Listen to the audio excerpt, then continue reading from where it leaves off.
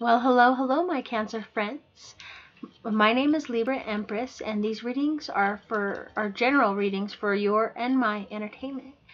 We are going to embark on your weekly um, horoscope for January 13th.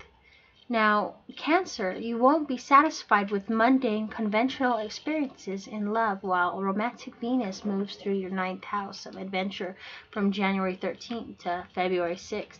Instead, you'll be stirred to sign up for a class that bolsters your knowledge of a subject you've always been fascinated by, like art, music, or theater, you know, or plan a long distance trips that can open the door to thrilling new experiences.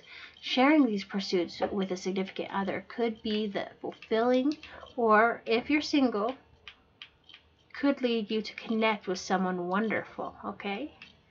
And from January 16th to February 3rd, communicator Mercury moves through your eighth house of sexual intimacy, urging you to share your deepest rooted physical and emotional desires with a partner or a potential SO.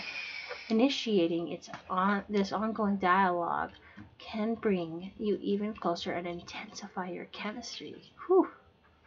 Well, that sounds like an amazing, um, amazing week. Thank you so much, Cancer, for um, listening to me. My name is Libra Empress. Please hit subscribe, like, and share, and join me again tomorrow for our daily horoscopes. Have a great night.